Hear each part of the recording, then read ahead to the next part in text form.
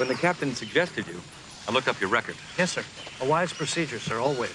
Then your rank of lieutenant commander is honorary. No, sir. Starfleet class of 78, honors in probability mechanics and exobiology. But your file says that you're a Machine, correct, sir. Does that trouble you? To be honest, yes, a little. Understood, sir. Prejudice is very human.